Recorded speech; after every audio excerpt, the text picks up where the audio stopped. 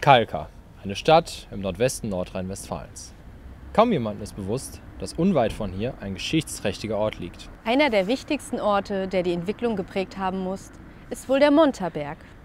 Er befindet sich zwei Kilometer südlich der Stadt mit einer Höhe von etwa 70 Metern und seiner Sporenlage bot er einen weiten Blick über die Rheinebene und war so prädestiniert für die Errichtung einer Burg.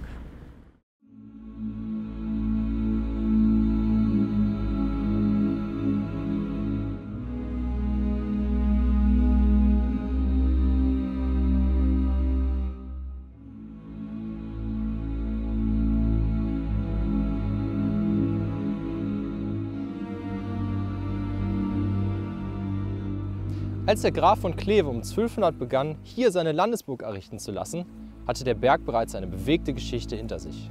Funde zeugen davon, dass sich in der Nähe einst ein römisches Lager befand. Man kann davon ausgehen, dass dieser Platz immer wieder besiedelt und im Frühmittelalter ein Burgtyp aus Holz errichtet wurde, eine sogenannte Motte.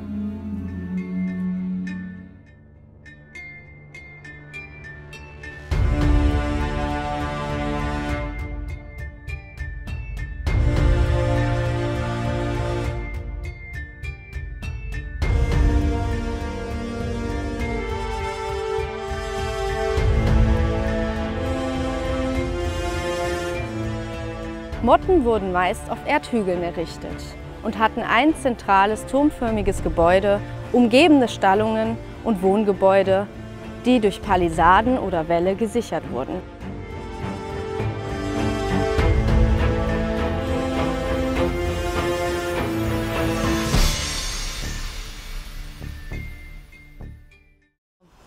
Der Brunnen ist der einzige noch erhaltene Zeuge einer langen Geschichte.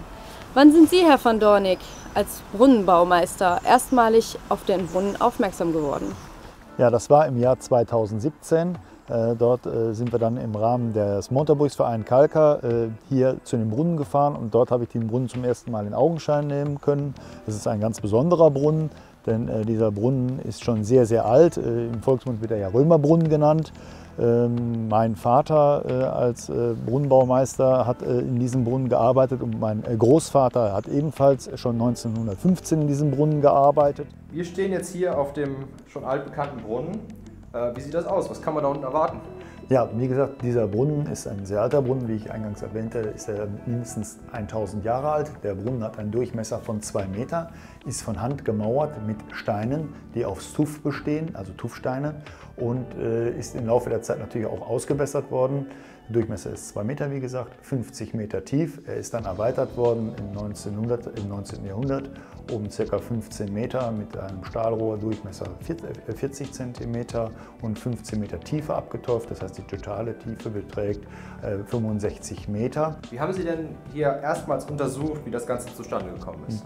Ja, wir sind äh, als Fachunternehmen hier eingeladen worden und sind ähm, im Jahr 2018 im November mit einem gewissen technischen Aufwand hier gewesen. Wir sind also hingegangen und haben erstmal eine Arbeitssicherheit hier durchgeführt. Das heißt, der komplette Brunnen ist belüftet worden, weil die, sich dort CO2 angesammelt hat. Das haben wir dann halt ausgetauscht, einen Gasaustausch durchgeführt und sind dann mit einer Gondel hier durch die Decke, die wir hier haben, mit einem Kran mit Seil, dann entsprechend mit äh, Sicherheitsgurten und einer Gondel halt in die Tiefe gefahren und haben dort äh, vier Fahrten gemacht mit drei verschiedenen Gutachtern oder Fachleuten des LVRs, die dann einzeln sich den Brunnen im Detail angesehen haben. Dabei ist herausgekommen, dass der Brunnen nicht nur einfach rund gemauert worden ist, sondern der Brunnen halt mehrere Schichten nebeneinander hat, in der Wandungsdicke sozusagen, die erstellt worden sind. Und dabei hat man halt eben festgestellt, dass anhand des Mörtels, der verwendet worden ist, der Brunnen ca. 1000 Jahre alt sein kann oder älter. Um das wiederum zu bestimmen, müsste man Proben nehmen, die einschicken und den Mörtel auswerten und damit dann halt eben dann möglicherweise ein anderes oder ein deutlich höheres Alter, was sein kann, entsprechend zu ratifizieren. Äh, ja, hier sehen wir eine Gravur, äh, die eingetragen worden ist an äh, dem Oktogon des Brunnengebäudes. Dort ist FVD und CVD. Wir glauben, dass das Friedrich und Konstantin van Dornick sein könnte. Ähm, die Jahreszahl 1919 lässt auch zurückschließen, dass dort Vater und Sohn hier an dieser Stelle gewesen sind, um das einzutragen, da beide in dieser Zeit gelebt haben. Der Monreberg, wie der Montaberg auch genannt wurde, findet seine erste Erwähnung im Bericht des Mönches Alpert von Metz. Er erzählt uns von einer großen Adelsfehde am Niederrhein zu Beginn des 11. Jahrhunderts. Es begann im Jahre 1006 mit dem Tod Gottfrieds, dem Grafen von Hattwarengau. Mit seinem Tod hinterlässt Gottfried ein ansehnliches Erbe. Sein einziger Sohn jedoch ist krank und schwachsinnig und scheidet damit als Erbe aus. Der Neffe Graf Balderich von Hameland und der Schwiegersohn Graf Wiechmann aus dem Geschlecht der Billunger kommen daher als Erbe in Frage. Schließlich wird Wiechmann zum Erben ernannt, ganz zur Missbilligung von Balderich. Daraus folgte schon bald ein unbarmherziger Krieg zwischen den beiden. Ein Krieg, der sich durch das ganze Herzogtum ausbreitet. Balderich hatte mächtige Verbündete, unter anderem den Erzbischof von Köln. Im Nierstal fällt bald die durch Sumpf und Wasser gesicherte Burg Gennep in Balderichs Hände. Im rechtsrheinischen Teil des Gaues ist die Burg Aspel, die ihm die Tore öffnet. Einzig die Festung Munna auf dem Montaberg bei Kalka konnte von Graf Wiechmann erfolgreich gegen Balderich verteidigt werden. Schließlich wird Balderich während einer Dienstreise in Kalka von Wiechmanns Männern gefangen genommen und auf die Burg Munna verschleppt. Balderichs Frau Adela kauft ihren Ehemann frei und muss auch die eingenommene Burg Aspel freigeben. Zweimal wurde Frieden geschlossen, aber beide Male wurden die Abmachungen gebrochen und die Fehde zwischen ihnen ging weiter. Wiechmann, der größte Widersacher Balderichs, versucht mit geheuchelter Freundschaft den Konflikt für sich zu gewinnen. Daher erwidert Wiechmann einen Besuch von Balderich auf der Montaburg mit einem Gegenbesuch auf der Burg Uplade. Auf dem Rückweg, nicht weit von der Burg entfernt, wird jedoch Wiechmann heimtückisch auf Betreiben von Balderich und seiner Frau Adela erschlagen. Da man den Mord schon bald Balderich und Adela anlastet, zerstören die Verbündeten Wiechmanns aus Rache die Burg Uplade. Schließlich gelingt es Balderichs Verbündeten, die Burg Munna in ihre Gewalt zu bringen. Nun ist Balderich der Herr von Montaberg. Aber sein Glück währt nicht ewig. Über die Eroberung der Montaburg und den Tod Wiechmanns wird im Jahre 1018 ein Reichstag in dem Wegen abgehalten. Balderich wird des Mordes an Wiechmann verurteilt und verliert alle seine Ämter und Besitztümer.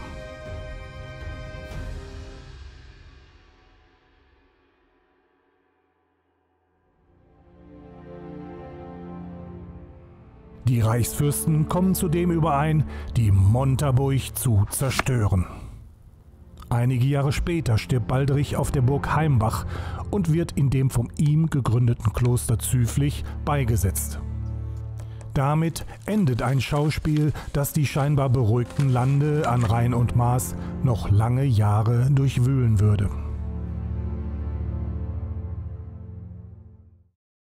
Über das Aussehen der Burg ist wenig bekannt. Die Vogelschau von Braun-Hogenberg von 1575 zeigt Kalka. Am linken Bildrand ist die Burg zu erkennen. Der zentrale Burgfried als höchstes Gebäude ist von Kapelle und anderen Burggebäuden umgeben. Auf einer Skizze zeigt van Wein 1612 die Burg kurz vor ihrem Abriss. Auf einem Altarbild ist der Burgfried zu erkennen. Unten mit runden, oben mit sichtlich später zu datierendem quadratischen Grundriss. Eckwarte und Zwiebelhauben lassen Ähnlichkeiten mit der Schwanenburg in Kleve erkennen. Beim Einbau eines Hochbehälters, der Kalkarer Wasserwerke in den Mottenhügel, stieß man laut Zeugenaussagen auf die Fundamente eines Rundturmes mit einem Innendurchmesser von 12,5 Metern. Mit Hilfe dieser Vorlagen und Analogieschlüssen von anderen Burgen wurde von Studierenden der Hochschule Rhein-Waal der Versuch unternommen, eine 3D-Rekonstruktion zu erstellen.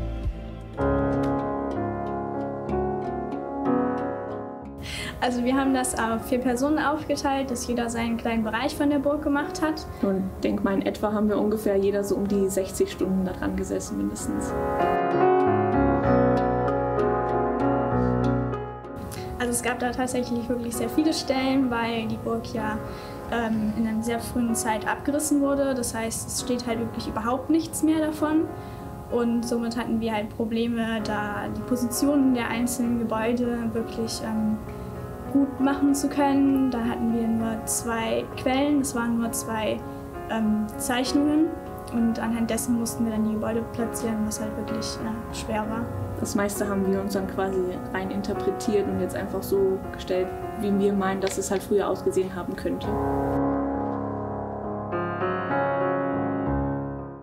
Also ein großes Problem bestand darin, eben den Untergrund für die Burg im Ganzen zu bekommen. Dafür haben wir jetzt ein Mesh kreiert, was eben die Höhenwerte beinhaltet und sich an den Hügel anpasst. Und ja, es war recht schwer, das zu ähm, ja, möglichst genau darzustellen und insbesondere dann darauf halt auch zu arbeiten. Das Gelände war auf jeden Fall sehr aufwendig, die ganzen Straßen und Flüsse. Ähm, genau nachzuziehen. Das war auf jeden Fall sehr aufwendig. Im Prinzip war es schwer, einmal eine Grundform der gesamten Burg, also wo welches Gebäude steht, zu finden. Als wir das dann wirklich einmal festgelegt hatten, danach war es relativ äh, einfach damit zu arbeiten. Aber einmal an diesen Punkt zu gelangen, darin bestanden ja, sehr große Probleme bzw. auch Meinungsunterschiede.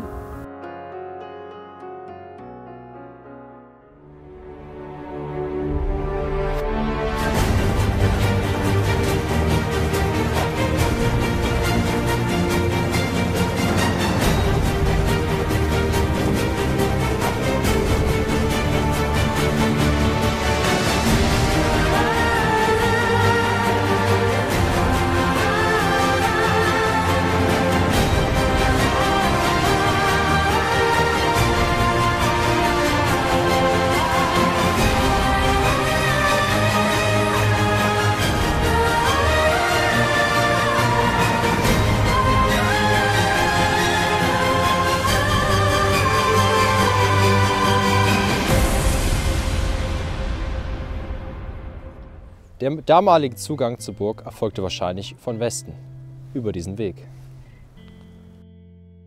Die Burg entwickelte sich im 13. Jahrhundert zum bevorzugten Wohnsitz der Grafen von Kleve. 1327 wurde in der Vorburg ein Kollegiatstift errichtet. Schon 14 Jahre später aber an den neuen Hauptsitz der Grafen nach Kleve verlegt.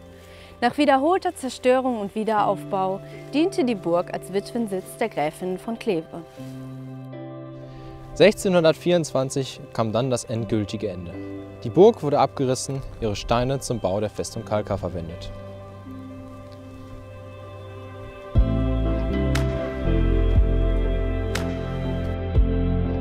Ich bin Felix Groß, ich bin hier auf dem ehemaligen Burggelände der Montaburg mit Carsten von Dornig, Vorsitzender des Montaburg, der Montaburg Gesellschaft. Ähm, können Sie uns ein bisschen was über die Gesellschaft erzählen? Wann wurde sie gegründet? Ja, ähm, die Gesellschaft ist gegründet worden 2015 äh, auf Initiative äh, von zwei Herren aus Xanten. Das war der Herr Hock und der Herr Pohl. Und 2015 haben wir dann äh, Vereinsrechte bekommen, beziehungsweise sind als Verein eingetragen worden. Was waren denn die Beweggründe, dass Sie gesagt haben, wir möchten diese Gesellschaft gründen? Die Beweggründe sind gewesen, dass äh, einerseits die Stadtführerin äh, Helene Mörs, wie aber auch durch den Herrn Pohl und Herrn Hock, äh, wir, der Herr Wolters, äh, meine Wenigkeit, äh, darauf aufmerksam gemacht worden sind, dass hier halt eben ein historisches äh, großes Erbe unter dem Rasen liegt. Und wir damals beschlossen haben mit dem Heinz-Jürgen Graf und dem Herrn Gerd Grohmann entsprechend hier einen Verein zu gründen, um dieser Sache nachzugehen und natürlich zu prüfen und zu entwickeln, ob es hier halt die Möglichkeit gibt, äh, etwas Neues entstehen zu lassen. Was sind denn die aktuellen Ziele der Gesellschaft? Die aktuellen Ziele der Gesellschaft sind im Moment, die Informationen zusammenzufassen, die Informationen auszuwerten und auch zu katalogisieren. Darüber hinaus sind wir dabei, Förderprogramme zu äh, inspizieren bzw. zu prüfen, ob die für uns äh, zuträglich sind. Äh, es gibt noch Gespräche bezüglich der Eigentümerverhältnisse und wir haben natürlich viele mittätige Mitglieder, die wiederum sich mit historischen Bereichen beschäftigen, aber auch mit archäologischen Bereichen beschäftigen, Teile Öffentlichkeitsarbeit, Internetauftritte und so weiter. Und das sind alles Punkte, die so einen Verein halt eben ausmachen und darauf sind wir sehr stolz. Wir haben ja schon ein bisschen über die, Ihre Beweggründe gesprochen. Gibt es da noch ein öffentliches Interesse an der Montaburg und deren Erschließung? Ja, davon sind wir überzeugt äh, als Gesellschaft, da hier halt in über 2000 Jahren schon verschiedene Epochen an Menschen am Werk waren und äh, wir sehen halt eben das große Potenzial in der Geschichte. Wir haben einen über 1000 Jahre alten Brunnen auf der einen Seite. Wir haben hier Funde aus der Eisenzeit. Wir haben Funde aus der Römerzeit.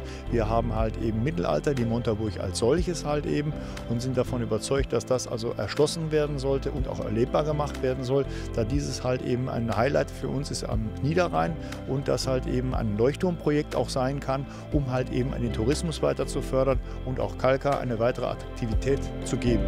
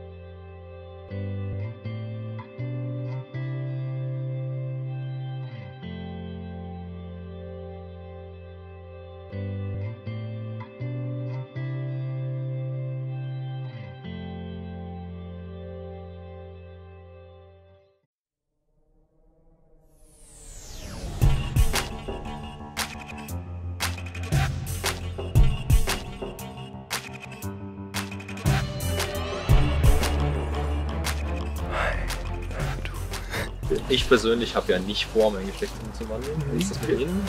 Das wird offen getragen, aber Heutige Ernte. Nur einen Sack. Du kannst dich mal weniger beschweren. Ein bisschen mehr schleppen. Die auf einen Wiederaufbau der Burg schließen lässt. Ey, wenn Sie jetzt zu früh reingerufen haben, dann höre ich auf. Wir hätten einfach so mal den Ton oder die Kamera laufen lassen müssen. Oh Gott, nein, das machen wir aber nicht von mir auch, oder? Also, da hinten ist, da hinten ist ja Kalker. Meine Haare, die sind schon wieder komplett total beschissen. Wandern ist das Müllerfluss. Alles sieht besser aus als ich. Sogar dieser Baumstumpf sieht besser aus als ich. Wandern ist das Müllers Lust, das Wandern ist. Also ich habe ja immer Vicky und Bob der Baumeister geguckt. Bob der Baumeister war so mein Liebling. Aber den Barbies habe ich mir den Kopf abgerissen. Die waren ja, hallo, die Proportionen, die die hatten, da war ja wohl, hä? Der Simon freut sich, worüber wir reden. In Slow-Mo. In Slow-Mo. Was? Bis auf